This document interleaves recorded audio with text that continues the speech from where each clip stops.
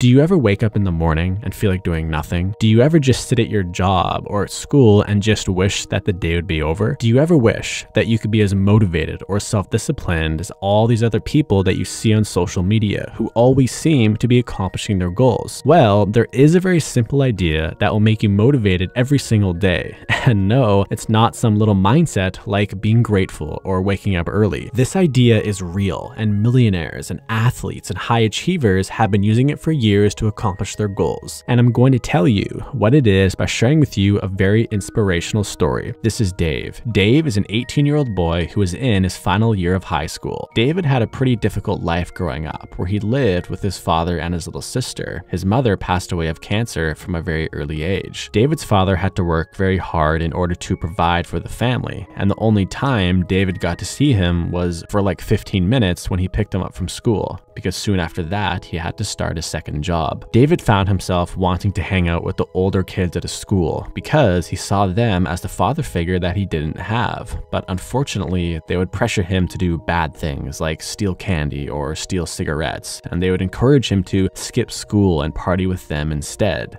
his life was slowly heading in the wrong direction. But one night, after David had been out at a party, he came home to see two police cars in his driveway. As David walked to his house, he noticed that the main window was broken. He walked inside and saw two policemen talking to his little sister, who was crying. Are you David? The policeman said. Uh, yeah. What's going on here? Where's my dad? Son, Take a seat. The officer went on to explain that two burglars had attempted to break into their home and that David's father happened to be awake. As a result of him trying to defend himself against the burglars, one of the burglars decided to take his father's life.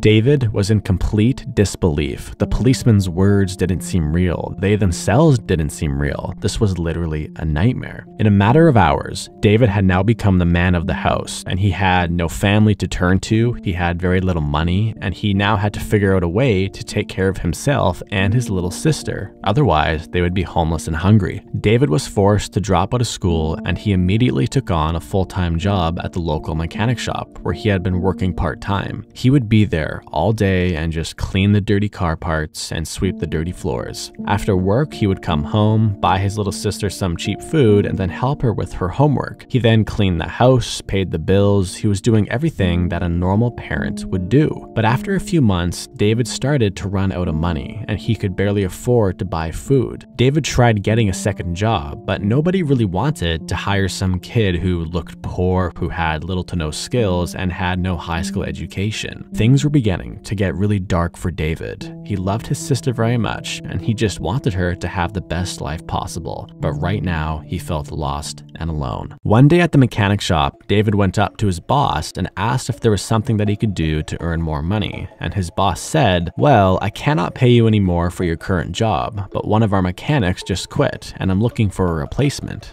So if you know how to repair cars, you could maybe do that, his boss said. Yeah, I have some experience. David said.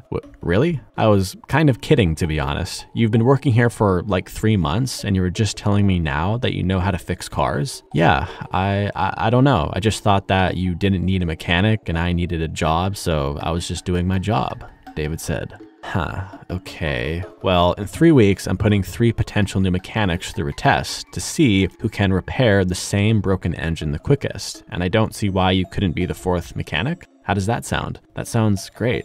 Thanks. okay, well, if you need to brush up on your mechanic skills, you can read this book. It's basically the all knowing guide to engine repair. And just so you know, this new job pays a lot more than your current job now. Later in the night, after his sister was all taken care of, David got out this massive book and he thought to himself, if I can memorize every single thing in this book, maybe I can win this competition. Getting this job meant keeping himself and his little sister alive, and not getting the job meant being homeless and hungry. The stakes were very high. So for the next three weeks, David was glued to this book and he read every single word four to five times and he would close his eyes and pretend that he was putting together the parts that he was reading about, and he would visualize the problems to look out for and visualize how to solve them. Because he did not have any real car parts to practice on, he started to pay really close attention to the car parts that he would clean at his work. He would focus on the feeling of the metal in between his hands, and he would study every groove and every angle, and he would analyze where all the parts would fit together. Whenever David felt tired or he felt like he couldn't work anymore, he would just look at the hollow cupboards in his house where there was almost no food, and he would feel the cold air crawl up his spine because he could not really afford heating. But more importantly, he would look at his hungry, confused, sad little sister, who still could not really comprehend that both her mother and her father were gone. A hardship like that is not meant for a child. David had no choice. For the next three weeks, he barely slept, barely ate, barely drank. All he did was work. Finally, the competition day had come. David walked into the store and he saw the three other mechanics who all had their own tools, their own towels, their own cars. They looked very professional. Hey kid, how are you feeling? The boss said. Yeah, I'm okay. If you need to use my tools to fix the engine, I'll leave them here for you. Guys, in front of you there is an engine, but there is a problem with this engine, and all of you have the exact same problem. And the first person to fix the problem and start the engine will be hired for the new job here. Does this make sense? Everybody nodded with confidence while David's heart trembled. Okay, I will be in my office. I will come out when I hear an engine start. Start working right now. The three other mechanics all started to work right away. David could hear the tools clanking against the cold hard metal of the engine, and he could hear the grunts of the other men, and he could see the sweat coming down from their face. But David just looked at his engine for a moment, simply studying it. He could still see the sections in his book that talked about the most common problems in an engine, so he just slowly and systematically worked his way down the mental list. In the corner of his eye, he noticed that his boss was staring at him. As he worked on the engine, images of his little sister popped into his head. He could still remember very clearly coming home and seeing the cop cars and seeing the shock and fear on his little sister's face. She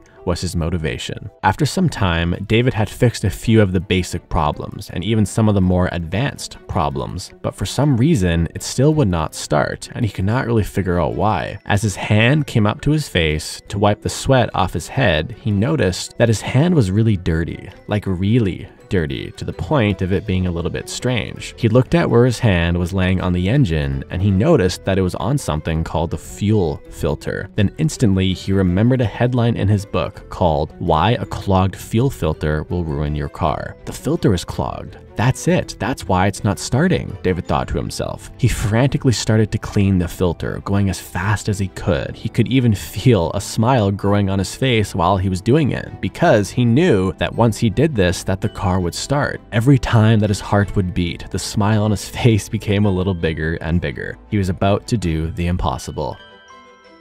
But then, he heard it. The other mechanic's engine had started. The boss came out, shook the other mechanic's hand, and said, Well done. Come into my office and let's have a chat. David, could you please clean everything up here? In five short seconds, David's heart had shattered into pieces. As he started to clean everything up, tears filled his eyes. All the work he put in and all the pain that he went through was all for nothing. What am I going to do now? How am I going to provide for my sister? What about the rent and the heating? What am I going to do for the winter? Thoughts like this were racing through David's head. A few hours later, after the winning mechanic had signed the contract to work there, the boss called David into the office. So, I looked at your engine. You almost had it, eh? You just didn't clean the fuel filter in time. Yeah, being fast is a really important trait as a mechanic. People want their cars fixed quickly. Yeah, I get that. You know, when you said you wanted to become the fourth mechanic here, I actually did a little bit of research into you, and I read what happened to you and your family in the newspaper, and I'm very sorry for what happened. David said nothing. David, I'm going to ask you a question, and I want you to be really honest with me, okay? Um, okay. Did you lie to me when you said you knew how to fix cars? David looked down for a moment. Um, no. His boss just stared at him. yes, I lied. Okay, so I'm guessing you lied to me because you really wanted the job because of the extra money in order to take care of yourself and your little sister. Is this true? Yes. So your solution was to just say you knew how to fix cars, and then luckily I gave you my book, and then you studied it, and then you came in here to compete against the real mechanics. Yes. Wow, that is very bold of you, and really impressive that you actually managed to fix a car engine with little to no real experience. You must be a really fast learner. Well, I was pretty familiar with all the car parts. I mean, I clean them all day, every day. And you're modest. That is a really good trait. Sir, with all due respect, why are we talking about this? I lost. I saw the other mechanic sign the contract to work here. What's there to talk about? Yes, you did technically lose, and there's no way I will hire a mechanic with little to no real experience. David looked down, his heart still in pieces.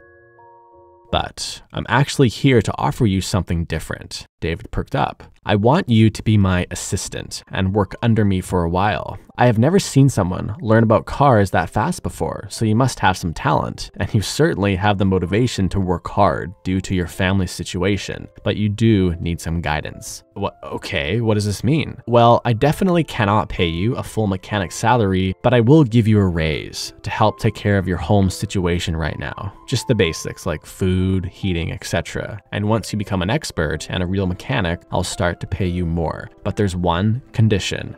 Okay, what is it? You can never lie to me again about anything. The only reason why I'm making an exception for your past lie is because I know you just wanted to take care of your family, and I understand that.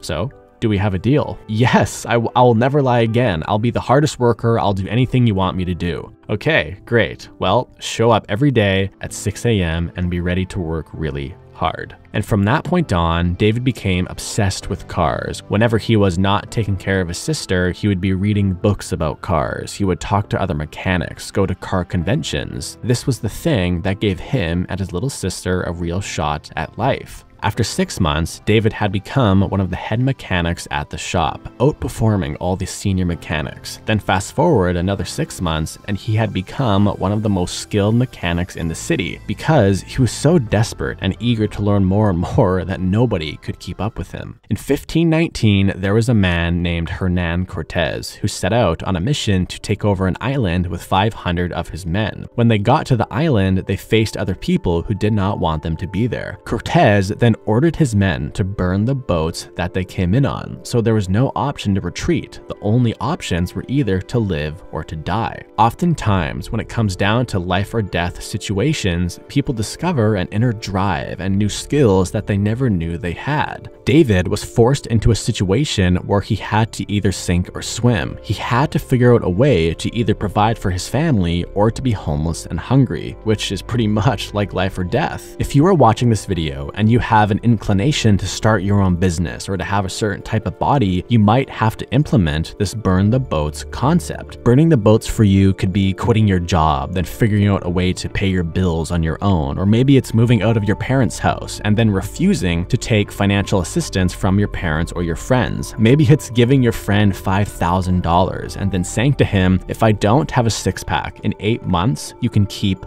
the money. Doing this will force you to figure out a way to become successful because failure is no longer an option. This strategy is not for everybody though, and you certainly need to set realistic goals and you need to be careful, but some people need to do this in order to succeed. If you want to get inspired to achieve your goals, then click the video on the screen right now. I promise that you will love the video. Thanks for watching, and I'll see you soon.